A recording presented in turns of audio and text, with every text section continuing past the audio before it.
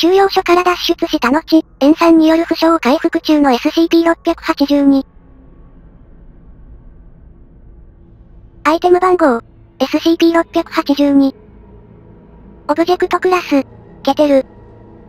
特別収容プロトコル、SCP-682 はできるだけ早く破壊しなければなりません。現時点で SCP チームは SCP-682 に重傷を与えられるだけで、破壊にまでは至っていません。SCP-682 は内側の表面すべてを 25cm の耐酸性の板金で補強した 5m×5m×5m の収容所に収容してください。収容所は SCP-682 が完全に浸かり無力化するほどの塩酸で満たしてください。SCP-682 が少しでも動く、話す、または脱走を試みた場合はすぐに、その状況で使用できる全力を持って対処してください。刺激すると激怒する可能性があるため、職員は SCP-682 と話すことは禁じられています。許可されていない職員が SCP-682 と接触しようとした場合は武力により静止し、追い出します。脱走を何度も試みる上に収容、無力化が難しく、そして財団への高い脅威であることから SCP-682 はサイト、編集済み、に収容されています。財団はその資源を最大限に利用して、その場所の周囲 50km において都市開発が行われない状態にします。説明。SCP-682 は巨大な爬虫類のような生物で起源は不明です。高い知能を有しているとみられ、SCP-79 との限られた接触の間、高度なコミュニケーションを行ったことが確認されています。SCP-682 は全ての生命に対し像を示しており、このことは収容中のインタビューにおいて何度も確認されています。付録682、B 参照。SCP-682 は極度に高い力、スピード、反射神経を持っていることが観測されています。ただし、その正確な強さはその形状によって変化します。SCP-682 の身体は非常に素早く成長、変形します。その体長は接触することで増加し、脱皮することで減少します。SCP-682 は有機物、無機物関係なく摂取したものからエネルギーを得ることができます。消化は SCP-682 の尾行内部にあるろ過を行うエラに助けられているようです。そのエラはあらゆる溶液から使用可能な物質を取り除くことができ、収容コンテナの巣から常に SCP-682 が再生することを可能にしています。SCP-682 には驚異的な再生力、回復力があり、身体の87%を破壊、腐食させても動き、会話することが確認されています。SCP-682 が脱走した場合、7名以上のチームの出動可能な全ての機動部隊によって追跡、再捕獲が行われます。現在、脱走を試みた回数は17回、脱走に成功した回数は6回です。付録。682、P 参照。付録 682B の録音抜粋。博士。さあ、なぜ農夫たちを殺したのかい ?SCP-682。うなり声。博士。今、話さないと言うならば、君をコンテナの中に収容し。SCP-682。判別不能。博士。もう一度言ってくれ、マイクを近づける。SCP-682。判別不能。博士、もっと大声で言ってくれ。P85 に向けて、マイクを近づけろ。SCP-682。奴らは、判別不能。博士。P85 に向けて、これ以上マイクのゲインは上げられん。もっと近づくんだ。P85。奴のぐちゃぐちゃの喉を見ろよ。あんなんで話せるわけ。息を飲む音と叫び声。SCP-682。P-85 を攻撃しながら、奴らは、忌まわしい。博士。部屋へ退避。付録682、P、SCP-682 脱走事案。1、第1事案。エージェント、エージェント、エージェント死亡、P、129、死亡、P、27、死亡、P、173、死亡、P200 死亡 P193 死亡により対処。2. 第2次案。エージェント、エージェント博士 P124D 137、死亡、T、201、死亡、T、216により対処。3、第3次案、エージェント総長、エージェントエージェント、死亡、T、18、死亡、T、211、死亡、T、216により対処。4、第4次案、エージェント2等空想 ?3 等空想 ?2 等兵。2等兵。対2等空想。死亡、大佐、死亡、2等兵、死亡、2等兵、死亡。エージェント、死亡、により対処。5、第5次案、T、211エージェント死亡、エージェント死亡、エージェント、死亡、T、28、死亡。T、111、死亡、T、281、死亡、T、209、死亡、により対処。6、第6次案、エージェントエージェント、T、291、死亡、エージェント死亡。エージェント死亡、T、299、死亡、T、277、死亡、T、278、死亡、T、279、死亡、により対処。付録682、E、終了済みオプション実験。ログジアン682、E18。博士は SCP-682 に SCP-409 の使用を試みる。理事、理事博士監督。0400、接触。SCP-682 の接触部分は避け始め、その部分に大きな損傷が起こります。SCP-682 は幾度か何が接触されたのか尋ねました。丸800、結晶化が始まりました。通常よりゆっくりと広がっていきます。一二丸々、SCP-682 が極度の苦痛の兆候を見せ始め、同時に発作も起きました。人300々、結晶化が62%ほどで止まりました。結晶部が破裂し、SCP-682 に大きな身体的損傷を与えました。人400手足や内臓が損失したにもかかわらず、SCP-682 は回復します。SCP-682 は再生をはじめ、事案682、E18 に関わったすべての職員を殺し食らい尽くしてやると言いました。現在 SCP-682 は SCP-409 に対し耐性ができたようです。その他の SCP アイテムで SCP-682 の終了を行う際には、前試験として SCP-682 のサンプルでテストを実施してください。博士の提案の下、文書 27B、6参照、博士と、博士は SCP-689 を利用し、SCP-682 を破壊する許可を申請しました。申請はの承認待ちです。一方、ギアーズ博士は SCP-182 を利用した SCP-682 とコミュニケーションテストを提案しました。SCP-182 は抵抗し、可能な限り SCP-682 の収容センターに入りたがりませんでした。付録、終了済み実験ログ。実験記録、T98816、OC108、682。SCP-682 に対する SCP 間の破壊試験。SCP-682 の持つ高い攻撃性、適応力、及び知能により、オフアイブクリアランスによる破壊試験が命令されています。免疫発達、SCP-409 の失敗によるもの、の可能性及び適応可能性に由来する主な懸念により、すべての試験は先に SCP-682 から採取した体組織標本で実行しなければなりません。このステップはオフアイブ司令部の命令を待つ必要はありません。アイテム、SCP-689。対組織を用いた試験の記録。オフアイブ命令により免除。破壊試験の記録。SCP-682 が SCP-689 の元にさらされました。収容エリアの照明を消します。照明は5分間消したままでした。照明をつけました。SCP-689 は初めの位置のままです。SCP-682 は灰色と黒色の液体の溜まり場の中におり、生命反応がありません。二人のエージェントの監視の下で、T クラスが SCP-682 の破壊を物理的に確認するため送り出されました。T クラスが収容エリアに3歩踏み込んだところで SCP-682 が突然起き上がり D クラス職員を攻撃しました。SCP-682 は収容設備を破壊し逃走。この途上でエージェントを1名殺害しました。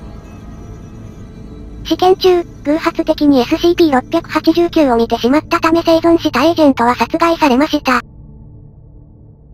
メモ。SCP-682 は未だにわからない方法でその時、生きて、いなかった、あるいは SCP-689 に対し免疫があるようです。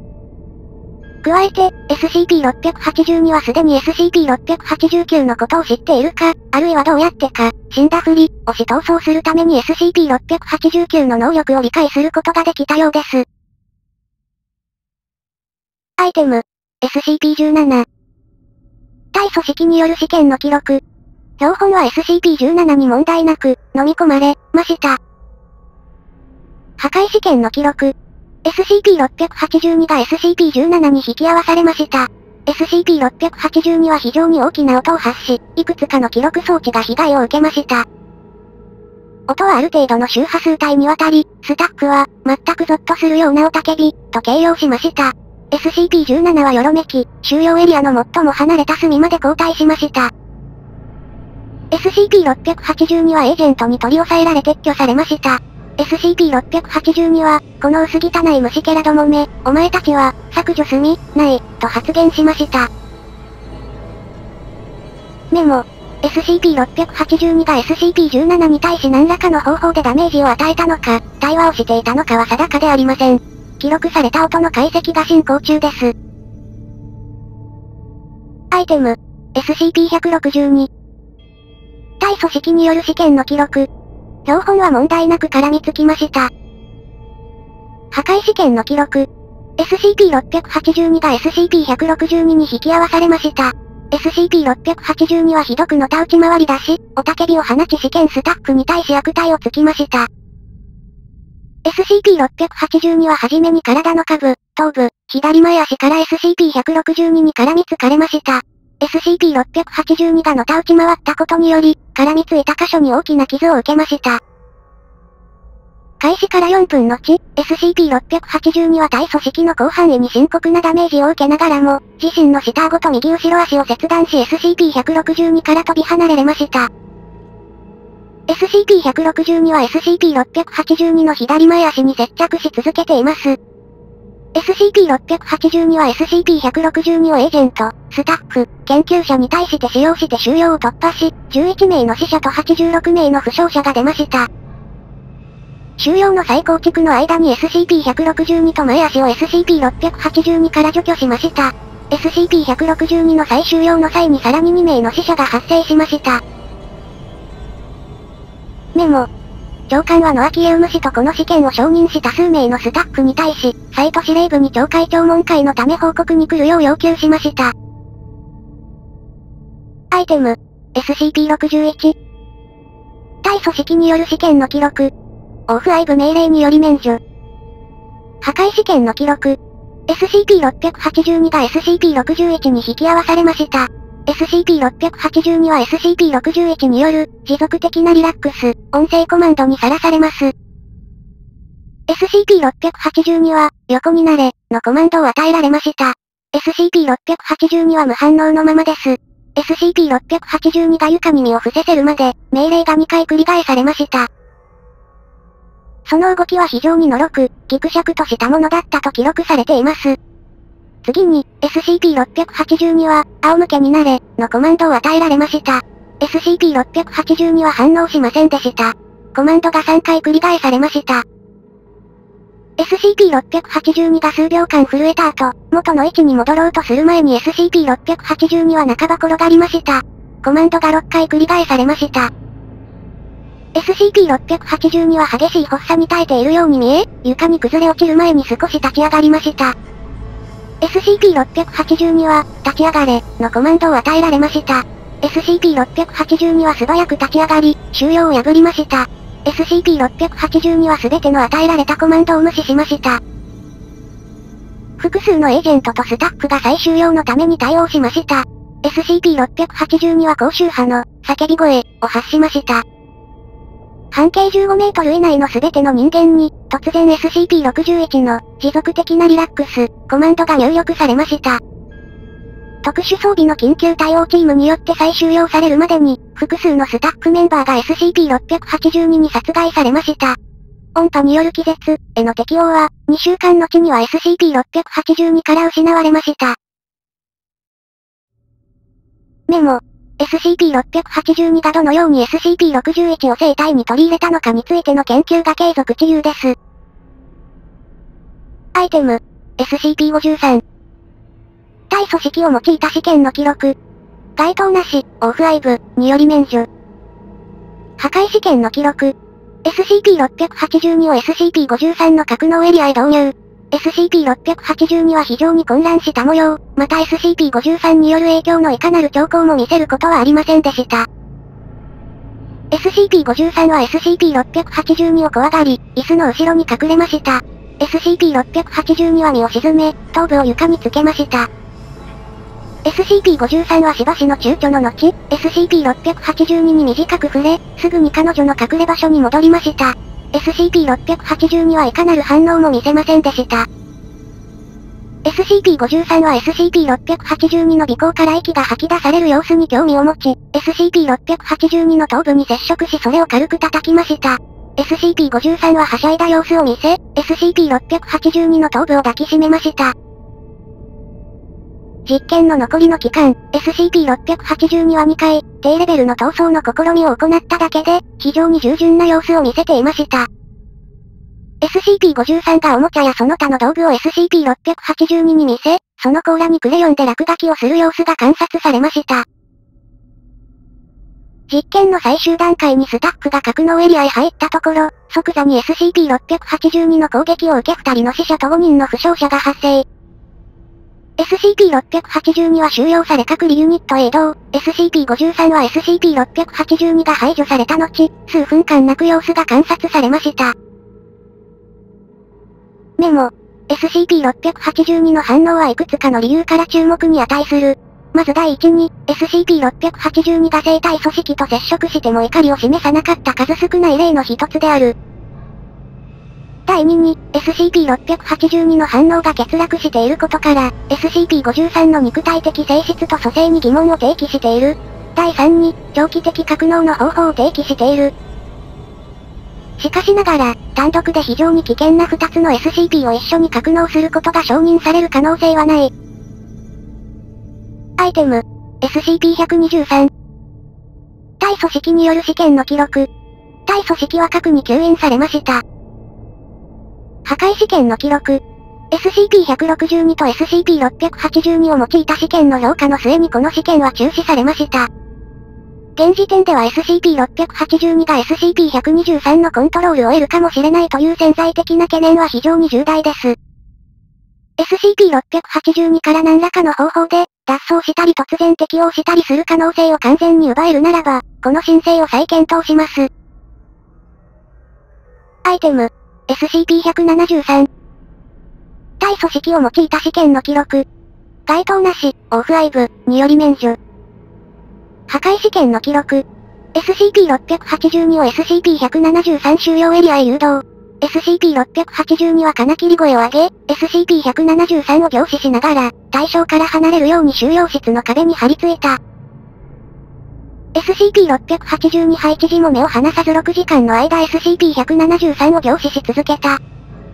大口径スナイパーライフル装備のエージェントを複数名投入、SCP-173 及び SCP-682 の観測を停止すると同時に SCP-682 の両目を狙撃。観測を再開後、SCP-682 は床に降りており、頭部、首、気薬部に数箇所の損傷が確認された。SCP-173 の手に当たる部分に SCP-682 由来の組織の付着を確認。SCP-682 は速やかに損傷箇所を復元。別の壁へ移動する間に大量に複数のメ組織を形成。メ組織表面は薄く透明な装甲組織の、蓋、で覆われている。SCP-682 は SCP-173 の監視を継続。エージェント及び財団職員はさらなる妨害の努力にもかかわらず、さらに12時間が経過。SCP-682 に SCP-173 収容エリアからの退出を許可。SCP-682 収容エリアへ再収容された。メモ。実験結果のレビューを行ったが、物理的な体格差があるため SCP-173 は SCP-682 に致命傷を与えることはできないと結論。SCP-682 の質量を SCP-173 と同等に減らすまでの損傷を負うことがあれば、再試験の可能性あり。アイテム。グレフ博士。対組織を用いた試験の記録。N、A。破壊試験の記録。SCP-682 が試験エリアに入る。グレフ博士が試験エリアに入る。グレフ博士と SCP-682 はおよそ3分、相手を凝視する。SCP-682 が凝視し続ける中で、グレフ博士は試験エリアからゆっくり後ずさりする。グレフ博士が試験エリアの扉を開けようとする。試験区画の扉は固く閉ざされている。グレフ博士は報告によれば声を荒げて罵声を発し、それから目を SCP-682 に向け続けたまま、正体不明の装置を扉に取り付ける。SCP-682 は凝視し続ける。クレフ博士は扉につけた小型プラスチック爆薬を起爆させ、収容施設を突破した。SCP-682 は凝視し続ける。クレフ博士は非常用予備核壁に取り掛かり、収容措置の不備を主張した。SCP-682 は反応せず、クレフ博士は実験観察センターに移動した。2分後、SCP-682 は相変わらず試験エリアにいるにもかかわらず、どうにかして計画主任の、博士を制御盤にぶつけ、ドン的外傷により首を折り殺害した。メモ。これは公式ストーリーであり、作者はこれにこだわります。グレフ博士を SCP-682 の実験エリアに運び入れて殺害しようとするというようなやり方は全くもって信じられません。5、71。アイテム。高度からの落下衝撃。対組織を用いた試験の記録。オフアイブ、により却下。破壊試験の記録。試験はオフアイブ、により却下。メモ。正気かい私はそうとは思えないね。航空機から奴を切り出して落とす。誰が、削除済みアイテム。ごく普通の人間の子供一体。対組織を用いた試験の記録。N、A、破壊試験の記録。SCP-682 が個室に運び込まれると子供は叫び出し泣き始めた。被験体はすぐさま SCP-682 に激しく貪られた。メモ。うん、うまくいかなかった。多分子供が泣いていた事実は682に敵意を感じさせたんだろう。客員研究員 W 博士。アイテム。極端に感情的な反応を抑制するよう薬物投与した、ごく普通の人間の子供一体。対組織を用いた試験の記録。N、A。破壊試験の記録。子供は直立し微笑み、SCP-682 に対して恐れる様子を見せずクスクス笑う。SCP-682 は被験体を激しく貪った。メモ。うーむ、多分もう一度試せばいいんじゃないかな。私はきっとどこかに SCP-53 のように奴と友達になれる子がいると思うよ。客員研究員 W 博士。アイテム。客員研究員 W 博士。対組織による試験の記録。N、A。破壊試験の結果。被験体は恐怖のために絶叫し実験施設のドアを叩き、部屋から出すよう懇願した。SCP-682 は運び込まれてから3分後それを激しく貪った。メモ。サディストのゴミカス野郎め。この愚か者には何ら同情しなかったね。このクソったれな怪物に子供たちをお届けするだってなんだってそんな、グレフ補助監督官。アイテム。W レーザー切断。対組織による試験の記録。対組織標本が表面化を終えるまでの間23回切断することに成功しました。破壊試験の記録。複数回の試みの後、T たす7。13時間の時点で、SCP-682 の本体を質量が同等な2つに溶断することに成功しました。死体の破片は部屋から除去されましたが2つ、以下 SCP-682、A、SCP-682、B が再生しました。おそらく攻撃を見据えた上で、回復期の後、SCP-682、A 及び B はエリアを見る渡し互いを評価しました。内部構造の変化を示唆する表面の変化が見られましたが、すべての外部の変化は十分に説明できないほど急速に発生し消えました。表皮の高エネルギー生物発光器官、脊柱、前足が両方の個体に同様に、形成され、隆起し、そして数秒のうちに再び消えるのが観察されました。t 35。42時間の時点で、SCP-682、A 及び B は同時に床に崩れ落ちすべての生命反応が消え、この状態がこの後48時間続きました。T-48 時間の時点で、SCP-682、A 及び B をさらに処理しやすい破片に切り分けるためレーザーが再び使用されましたが、実験対象の肌にビームが反射されたため施設への小規模なダメージの発生を引き起こしました。脱走の可能性の増加にもかかわらず、A、B 両方とも静止し続けているため、D クラス職員が部屋に放たれました。彼らが入ると即座に、削除済み。観察設備の技術的不全と試験室の突破が外部から検知され、保安プロトコル T98816、682、N147 が発動しました。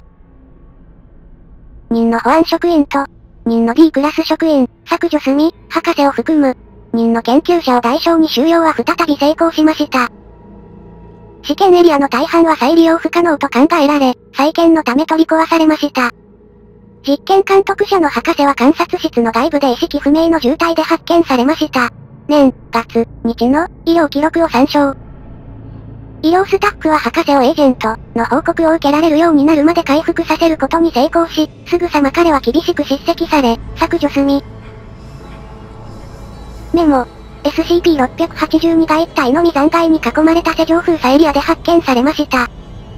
これは予測された50%ではなくほぼ完全な質量、施設内に散乱した対組織の質量は喪失分を説明できます、のようです。博士の証言によれば SCP-682、A 及び B は脱走後に高度な強調を示したが、SCP-682、B が保安職員により重傷を負うと、即座に682、A に貪られ吸収されたとのことです。SCP-682 の一体の完全な消失は全く信じられず、研究は中止するよう呼びかけられています。エージェント。メモ。SCP-682 が2つに分離している間単一の意識を保ち続けたのか、外部からの力で手詰まりが終わらされるまで2つそれぞれが協力できるのかを知ることは、こんなことをもう一度試せと進めるような状況に陥らないようにするという実用的な目的から、我々の部署の多くは欲しているだろう。ノアキエウム博士。アイテム。60メガトン吸熱核爆弾。対組織による試験。なし。破壊試験の記録。試験はオフアイブにより却下。メモ。SCP-682 を半径 300km にわたって第3度の火傷をもたらす爆弾の爆心地に置くのがいいアイディアと考える者がいるかもしれないが、生存の見込みがある限り承認することはできない。そう、核兵器は驚異的だ。しかし682が生き残り適応すれば、我々は想像以上の被害を被るだろう。オフアイブ。アイテム。SCP-914。対組織による試験。削除済み。破壊試験の記録。削除済み、を、ファイン、及び、プリーファイン、することは現在、一度であれ SCP-682 と接触したいかなる職員であれ使用することができません。加えて、SCP-682 と接触したいかなる物体に対しても SCP-914 を使用することは許可されません。この命令を保護にしようとする試みに対しては、削除済み。メモ。SCP-682 は大抵の場合ブースに入れるには大きすぎます。さらに対組織を用いた試験により SCP-682 は、SCP-914 に対する予測不可能な反応が明らかになりました。結論として、SCP-914 はこの種の試験に用いるには高価すぎ、そして繊細すぎます。事件、参照。682、1198、57、5ほとんど壊れるところで、そして、削除済み、が繰り返されます。結果は、削除済み、によって回収されるでしょう。メモ。914が通常の有機物に何をもたらすか分かっているのに、誰が驚くんだ AG 博士。アイテム。SCP-682 を未来英語を殺し続けられると豪語する大きく友好的な怪物について描かれた、博士作の SCP-682 を殺し、かつもしこのクソトカゲが復活しようとも永久に殺してくれるとっても素敵な怪物の友達、という12ページの短編のコピー一冊を装備した SCP-826 と、SCP-682 からの逃走用の部下機、ムルティストラーダ2010年モデルを装備した D クラス職員、D、682、32、1名。対組織を用いた試験の記録。N、A。破壊試験の記録。メートル X、メートル X、メートルの SCP-682 を搬入するのに十分な大きさの遠隔操作された搬入口のある大きな空の部屋の中に SCP-682 が設置され、その間日本が置かれました。SCP-682 は安全に入り口の前まで運ばれました。一旦研究者たちが実験エリアを改めた後、扉が遠隔操作で開かれ、物語の中で描かれた一場面と似ている緑の牧草地が現れました。SCP-682 は入るのをためらったため、D-682、32が、餌、として送り出されました。682は追いかけて入り口を通過し、すぐに扉は彼らの背後で閉じられました。30分後、SCP-682 はいくらか摩耗した状態でもと入ってきた扉を突き破り、その過程で、人の研究者と、人のエージェントを殺害しました。回収担当者が、戦場、となっていた物語の牧草地を説明するに、いくつもの体の破片と特徴的なクレーターが辺りに広がっていたとのことです。破片は物語の、怪物、であると考えられます。回収された物語は、SCP-682 を永遠に殺し続けようとしたが失敗した、とっても素敵な怪物の友達、と解題され、明らかに分厚くなっており、2体の怪物による劇的な戦いの描かれた209ページ分が追加されていました。SCP-682 を SCP-826 の内部で何とかするさらなる試みは SCP-682 の不服従に阻まれました。アイテム、SCP-743。対組織による試験。標本は問題なく取り込まれました。破壊試験の記録。SCP-743 を積載した移動用コンテナが、SCP-682 の放たれた試験室に移送されました。SCP-743 のコンテナが遠隔操作で解放されました。SCP-743 の、休止状態、が観察されました。SCP-682 は SCP-743 を無視しているようでした。分経過後、SCP-743 は、誘導状態、に入りました。SCP-682 もすぐに気づいたようです。SCP-682 は注意深く SCP-743 に接近し、誘導する液体を味見しました。SCP-682 は SCP-743 から液体を舐め取り始めます。秒後、SCP-682 は SCP-743 を前足でわしづかみにして SCP-743 から出る液体を直接口に流し込もうとします。SCP-682 が、噴火のみ続け、背中に、データ削除、したとき、SCP-743 は、接触状態、に入りました。SCP-682 はアリの軍隊と戦おうと試みましたが、すぐにアリに追われました。群れは動きを止めた SCP-682 に取り付き、貪り続けます。分が経過し、SCP-682 の質量が本来の79%まで減少すると、SCP-682 は口を開いて舌を突き出しました。SCP-682 の下は5メートル以上に達し、アリクイのように粘性を持っています。SCP-682 は下で自分にまとわりついたアリを舐め取りました。SCP-682 と SCP-743 は試験終了まで、時間にわたって互いを捕食しようとし続けました。SCP-682 はその後、日間にわたって通常以上の再生能力を示しました。適応した下は日間残存しました。メモ。SCP-743 は SCP-682 を有機物体とみなした。だが決定的な証拠とはならない。より重要な課題は、消化された743の液体が682の通常以上の再生能力に寄与したのかどうかだ。もし仮説通りなら、743と682はお互い、しっかりと遠ざける必要がある。ランバート博士。アイテム、SCP-63。対組織による試験の記録。標本は消滅しました。分子レベル以上の大きさで痕跡は残っていません。破壊試験の記録。SCP-63 は回転アームの先端に取り付けられ、SCP-682 の封鎖エリアの内部に配備されました。最初の接触では、SCP-682 は破壊の進行に再生が追いつくまでに体重の20%を失い、部分的に成功したことが分かりました。新たに生成された対組織は SCP-63 の根こそぎ効果で傷つけられず、682は装置を破壊し63は封鎖エリアの床を先行死後に回収されました。682は長い手を展開しその穴に通すことに成功し、収容が再構築されるまでに保安職員2名をひどい後遺症が残るほど傷つけました。アイテム、SCP-807。対組織による試験の記録。N、A。破壊試験の記録。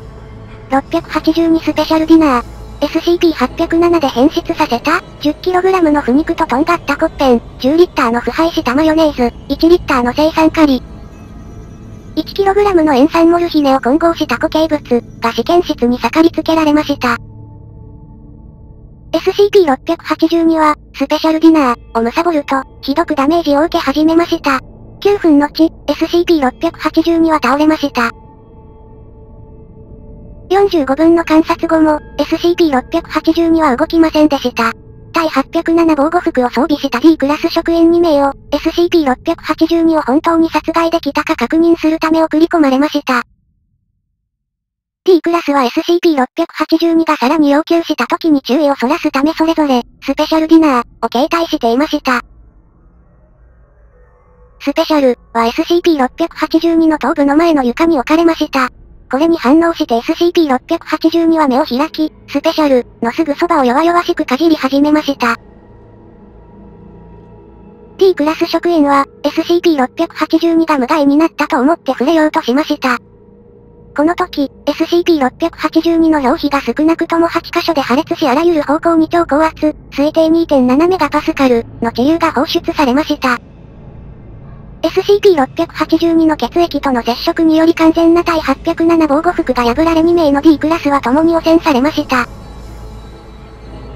D クラス職員は、削除済み、し始めました。SCP-682 はこの時点までに2前目の、スペシャル、を食べ終えており、表皮は回復していました。D クラス職員は双方ともなくなりました。SCP-682 はそれから3前目の、スペシャル、を1前目と同じペースと熱意で貪りました。アイテム、SCP-662。対組織による試験の記録。N、A。破壊試験の記録。デイズ氏が呼び出しされ、SCP-682 を永久に破壊できるかと尋ねられました。デイズ氏の返事。大変恐縮ですが旦那様、恐れながら私目にはできません。デイズ氏は SCP-682 を殺害できるか尋ねられました。デイズ氏の返事。旦那様、重ねて大変恐縮ですが、恐れながら私目にはできません。デイズ氏は SCP-682 を無力化できるか尋ねられました。デイズ氏の返事。実際のところ、旦那様の、無力化、という言葉の意図するところと、どの程度の時間を望みかによりますが、可能でございます。デイズ氏はどのようにしてそれを実行するのかさらに詳しく言うよう指示されました。デイズ氏の返事。旦那様、最も簡単で早い方法、これは一番効果的ではないと申し上げねばならないのですが、私めにあの怪物に食われるよう命じてくださりませ。私めの体を食べるのにかかりきりの間は、おそらくかの怪物の攻撃性は弱められましょう。これは私にとって何ら準備を要しないため、最も簡単です。ですが旦那様、あの怪物へのあらゆる作用には効果がないことはご存知のことと思われます。武器があろうとなかろうと、あの怪物との戦いに臨んだとしたら、おそらく、より長く注意と攻撃の矛先を引きつけられましょう。不幸なことに、私はかの怪物に打ち負かされたちに亡骸を食われることを懸念します。しかしながら、確実にかの怪物が私を食らうとき、さらなるダメージを与えるために、いくつかの有害物質、催眠物質や爆発物、ともすれば神経毒入りカプセルや、編集炭、で私自身に罠を仕掛けることができます。ですが旦那様、かの怪物の再生能力により、悲しいことに私がもたらす。ダメージ配置時的なものになるだろうとお知らせせねばなりません。デイズ氏には例を言って退出させました。メモ。デイズ氏が、編集済みを知っていることについてはセキュリティ違反とはみなされません。アイテム。SCP-738。対組織による試験の記録。N、A。破壊試験の記録。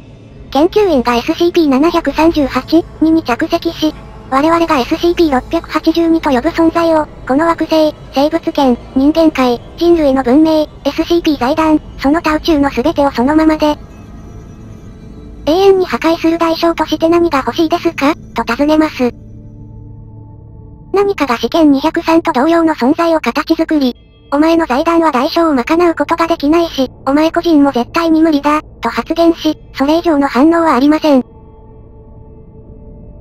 アイテム、SCP-272。対組織による試験の記録。N、A。破壊実験の記録。SCP-682 はスイッチ一つで点灯できる30個の 2000W のスタジアム照明が円状に並べられた構内の中心に開放されます。SCP-272 は SCP-682 の影に落とされ、予想通りに鉄筋コンクリートに埋まります。SCP-682 は素早く自身の影にある SCP-272 の存在によって釘付けになっていることに気がつき、SCP-272 に攻撃を開始します。それから SCP-682 は攻撃を途中で止め、272を詳しく調べると、理解不能の言葉で怒鳴りつけ、ゆっくりと272から交代します。それから 4HG で30個すべてのスタジアム照明を、ディスコ、調べのストロボスコープで不規則にスイッチを切り替えます。SCP-682 はストロボスコープのパターンに従い、不規則に強制的に校内中に投げつけられ重度の損傷を負います。この工程の55分後、SCP-682 の表皮の95%がすり減り、全歯は切断され、63本の歯が顎から抜け落ち、頭蓋骨は骨折し、眼球はその眼下から外れました。この時点で、SCP-682 の露出した皮下組織は飛夜光を発し始めました。光はスタジアム照明より強くなるまで急速に増加し、SCP-682 の影はなくなりました。それから SCP-682 は倒れ込み、ストロボスコープパターンの影響を受けませんでした。SCP-682 は48時間発光を続け、この間静止したままでした。校内から SCP-272 を回収した D、クラス職員は攻撃されませんでしたが、アイシールドを着用しているにもかかわらず SCP-682 の発光により長期の網膜損傷を受けました。48時間後、SCP-682 は通常の活動を再開しました。メモ。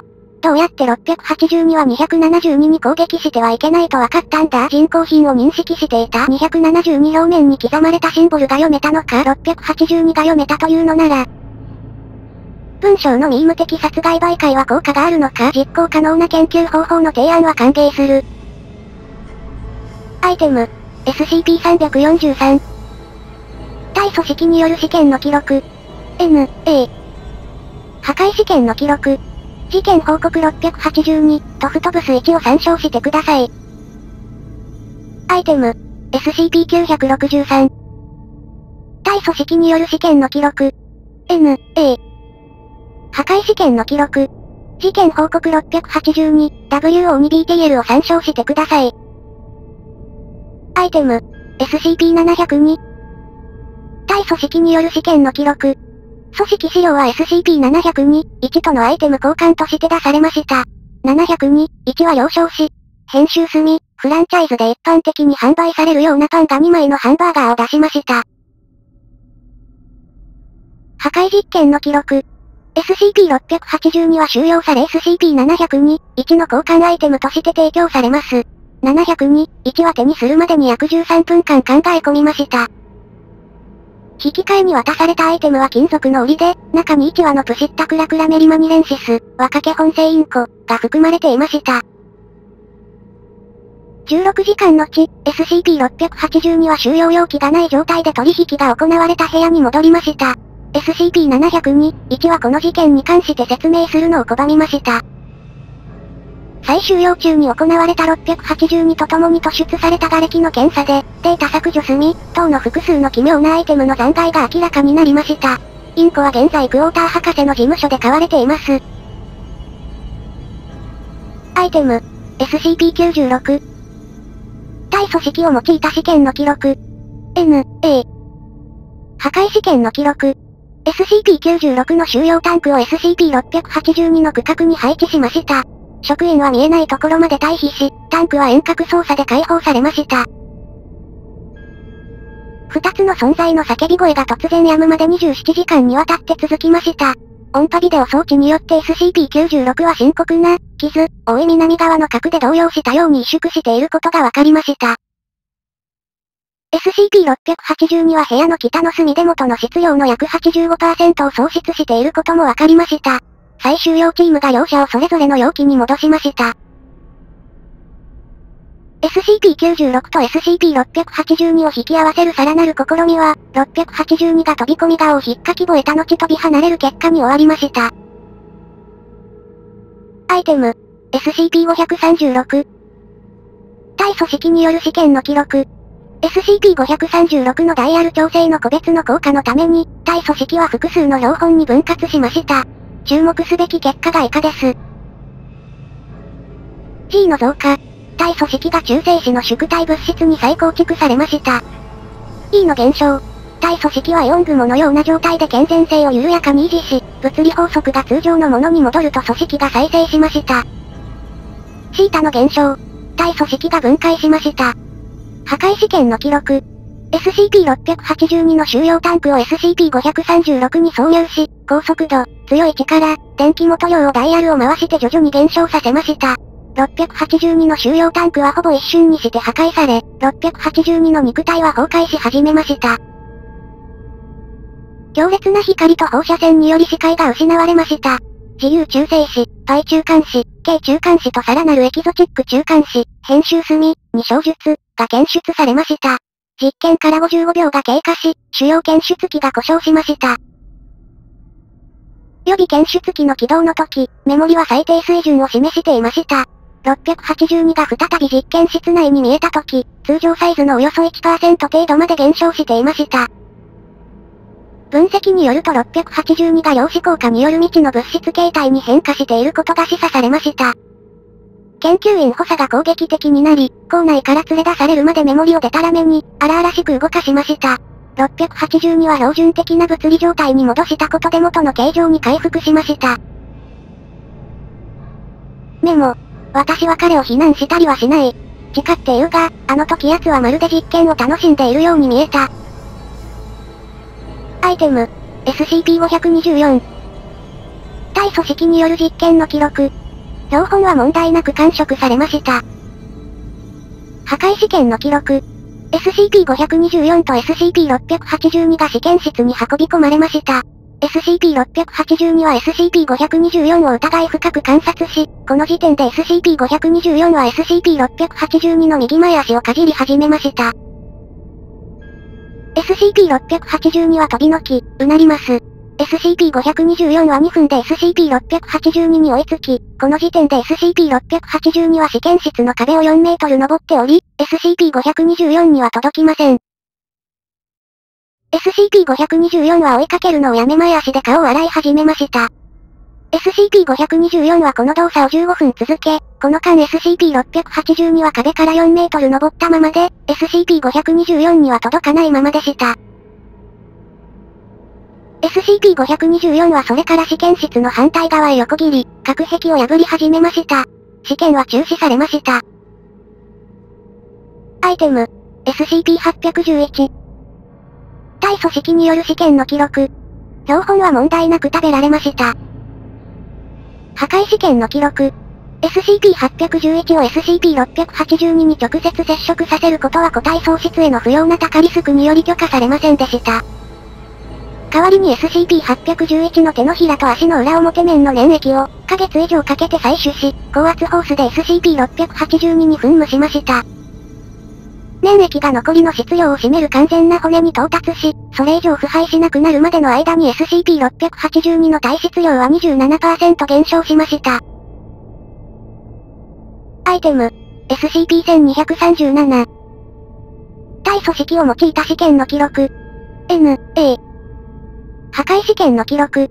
SCP-1237、1、L に安全な距離から監視することを許可した上で、SCP-682 の意図的な封じ込め違反を誘導しました。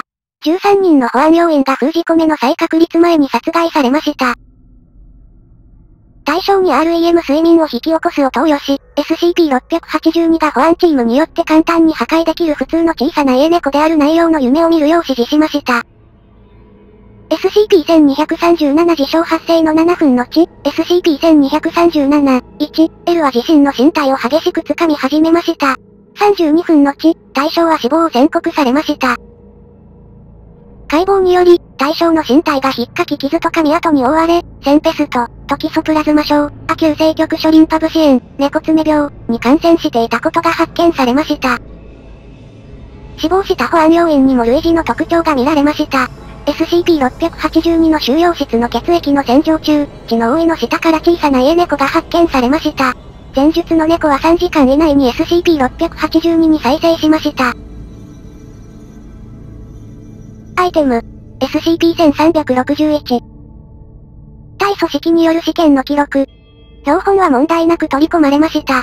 試験後 SCP-1361 の標本から SCP-682 の DNA マーカーが検出されました。標本は耐火性の向上を示しました。破壊試験の記録。SCP-1361 の第2サンプルを 1000kg まで成長させることが許可されました。SCP-682 の収容室カラスが排出され、髪型から SCP-1361 が SCP-682 へと注がれました。SCP-1361 は SCP-682 を覆い飲み込むと、3時間にわたって一切の動きが見られませんでした。接触後3、7時間後、SCP-1361 は足、顎、そして SCP-682 に似た外見的特徴を発達させ始めました。SCP-1361 は収容を突破すると、収集の過程で財団職員を攻撃し17名が死亡しました。残骸から回収された SCP-682 と同等の骨格と循環器系によると、SCP-1361 はこの状態では消火器が通用しないことが判明しました。焼却によるサンプルの破壊には、ナパーム弾の空気流散布が必要です。残骸は SCP-682 の収容室へ戻され、そこで6時間かけて SCP-682 が再生されました。その後の対組織の試験で SCP-682 には現在、SCP-1361 から検出された数種の生物の DNA マーカーが存在することと、ポークラインズ、豚側の唐揚げ、のかすかな香りがすることが分かりました。アイテム、SCP-1933。対組織による試験の記録。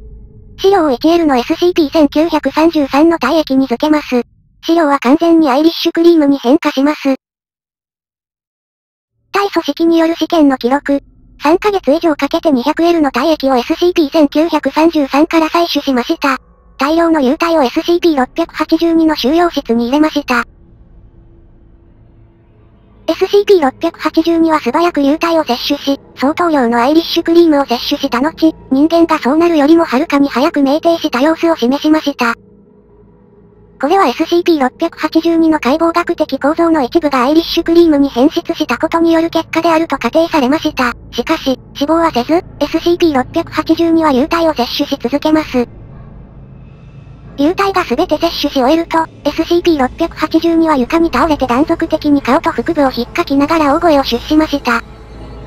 この5分後、SCP-682 は SCP-1933 の体液と思われる物質を吐き出しましたが、その量は摂取量よりも多量でした。また、収容室の床と壁はこの吐砂物と接触すると即座にアイリッシュクリームに変化し、構造物の破壊と収容違反につながりました。実験は中止、残った吐砂物は焼却されました。その後 SCP-682 に酩酊の様子は見られませんでした。アイテム、SCP-507。対組織による試験の記録。N、A。対組織による試験の記録。SCP-507 は別の収容違反の間に負った身体的損傷によって SCP-682 が不活性状態になっている間に SCP-682 の左前足にナイロンジッパーで身体を結びつけられました。付き添いの職員は SCP-507 がくくりつけられている足を除く、SCP-682 の身体に高圧ホースで塩酸を噴射し続けました。7時間52分後、SCP-507 の異常特性が起動し、SCP-682 と共に消えました。SCP-507 は63時間後に 8000km 離れたサイト、近辺の無人域に再建現し、大きな牙と一体の翼の跡がある実体の姿をした SCP-682 と実験開始時に収容職員によって付けられたものとは別の色のナイロンジッパーでくくり付けられていました。手書きのメモが SCP-507 の胸にピンで留められており、以下の内容が記されていました。親愛なるユニバース5802、シグマ、ブルー、ロメオへ。これは今の貴様の問題だ、ふざけやがって。アイテム、SCP-2599。対組織による試験の記録。N、A。対組織による試験の記録。SCP-2599 は SCP-682 を200%死ぬまで攻撃するよう指示されました。SCP-2599 は SCP-682 と42分間戦闘し、最終的に SCP-682 の3本の足が切断され、喉は潰され、両眼球は断裂されました。それから SCP-2599 は SCP-682 の身体を引き抜いて、SCP-682 の頭部を切断しました。これに反応して SCP-682 は、殺せ、内臓を引き出せ、やれ、と声を上げました。SCP-2599 は即座に SCP-682 を解放し、保安職員が実験室から移動させるまで静止したままでした。その後、怪我から再生する前に SCP-682 を破壊させる試みは効果がありませんでした。メモ。殺せ、という具体的な命令が、200%死ぬまで攻撃しろ、という抽象的な命令より優先されたと推測されます。